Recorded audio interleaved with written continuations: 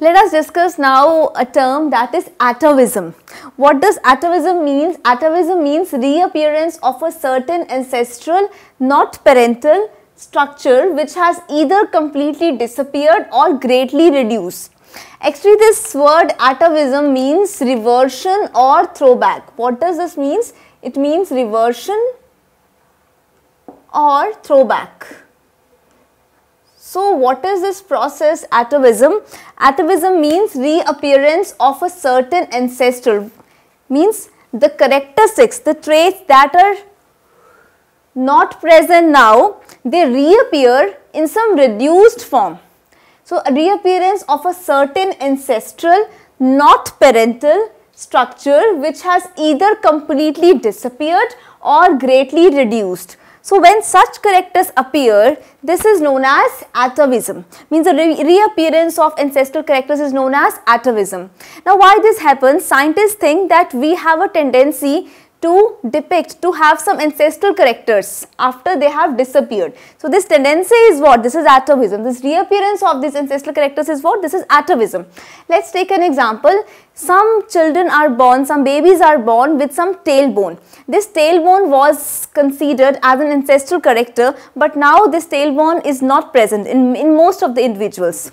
So this presence of tailbone in some individuals is an example of atavism means reappearance of a certain ancestral trait. So as you can see in the image, sometimes babies are born with a tail, with a tailbone, etc. tailbone which is also known as coccyx. Right? It is also known as coccyx. So this is formed at the end of the vertebral column there, there are few segments which are fused together and they form the tailbone which is known as coccyx. So the appearance of coccyx or the tailbone in certain babies, in some babies is an example of atavism.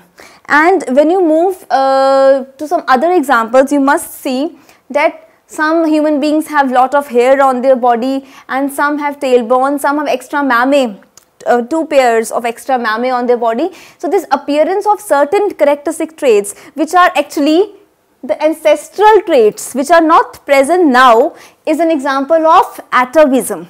And let's move back to the previous slide. As you can see that we have shown two leaves here.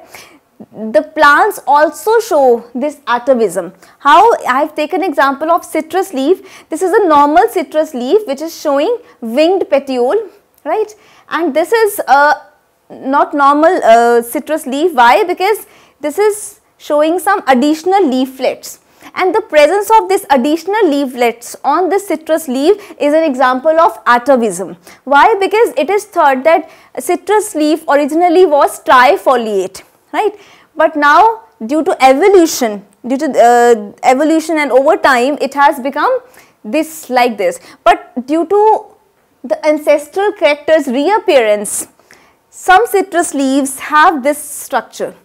That is why this abnormal small leaflet gives you an evidence of what atavism means the reappearance of certain ancestral not parental structure which has either completely disappeared or greatly reduced. As I told you that citrus leaf was once trifoliate. So, over time what has happened now it is like this, this it has this structure. But in some citrus leaf what we see is this there is development of some abnormal small leaflet which gives you an idea that the ancestor of citrus leaf would have been like this. So this citrus leaf extra leaflet, the small leaflet gives you an example of what atavism that is reappearance of ancestral characters. So what does atavism convey? In the evidences of evolution it conveys that we have a tendency Organisms have a tendency to develop ancestral characters during the evolution which were lost. So remember atavism is the reappearance of certain ancestral not parental structure which has either completely disappeared or greatly reduced. For example, we have discussed tailbone. We have also discussed in case of uh, human being the extra pair of mammae and development of extra facial hairs then in plants we have discussed citrus leaves. Once it was thought that it was trifoliate and now it is it looks like this but at, at certain times what happens citrus leaf develop this abnormal small leaflet which is an example of what? It is an example of atavism in plants. So I hope now you can understand what is atavism and can give examples of atavism.